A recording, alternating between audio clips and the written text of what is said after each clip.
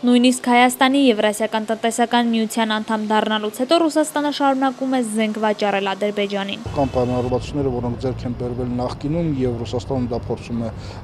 կատարել։ Երեք Սերժ Սարգսյանը Ադրբեջանին զենք վաճառելու փաստը որակել է խնդրեմ, որը պետք է լուծում ստանա։ Քաղաքագետները հիշում են, որ Սերժ Սարգսյանը նախկինում էլ է նման մտահոգություն արտահայտել, բայց ռուսական կողմը այն չի փարատել։ Նրանք նշում որ դա միայն բիզնես է, որովհետեւ չի անդրադառնում հարաբերությունները։ Ռուսաստանյան արձագանք կյանքը միշտ եղել է հետևյալը, որ Ռուսաստանյան կողմը վաճառում է զենքը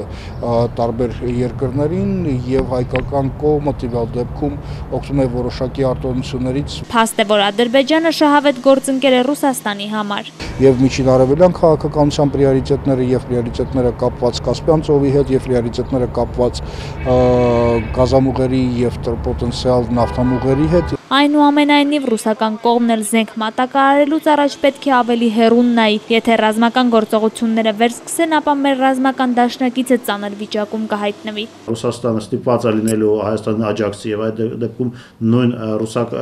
ռուսաստանյան զինծառայողները պիտի կռվեն ադրբեջանական բանակի, որը զինված է ռուսական զենքով եւ զինամթերքով, կամ եթե Ռուսաստանը որևէ ձևով ռեակցիա չի տա, Ռուսաստանը կկորցնի Հայաստանին որպես իր ռազմական դաշնակից։ Ի դեպ այսօր ադրբեջանական կողմը հերթական անգամ հարձակվել է հայկական դիրքերի վրա, հայկական կողմը ունի 3 զոհ, 4 վիրավոր։